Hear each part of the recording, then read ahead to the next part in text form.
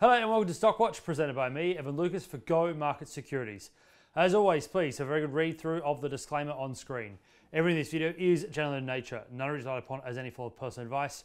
Go Market Securities does not know your personal scenario nor your personal financial goals, and therefore none is relied upon as any form of advice at all. It's just general in nature only.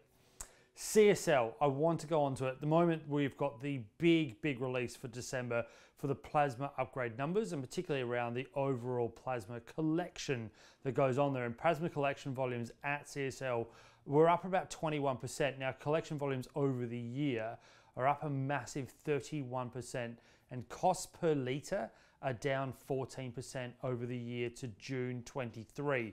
So put that in your calculator and work out the margins you're starting to see. Reported um, IG, so immunoglobulin revenue, 21% this calendar year. You look at an 11% increase in um, immunoglobulin revenue as well, and shows you why CSL remains a lot of people's pick in the healthcare space. Now, the caveat there is that the overall space is not very big, so I understand that completely.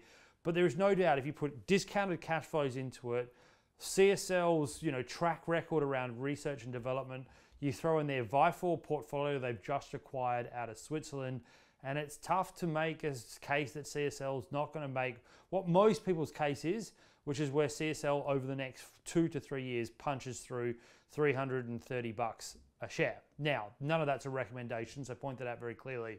But overall, the upside risks are clearly positive phase three for the data for their overall CSL 1112 project, better than expected cost efficiencies, which you're already seeing with cost per litre for things like plasma, better integration of Vifor overall, and then you also see an Aussie dollar that continues to help it from a tailwind perspective, considering that most of their earnings comes in USD, Euro, or Swiss francs, and bringing that back home also works in its favour. There are some issues, maybe that the currency does go against it.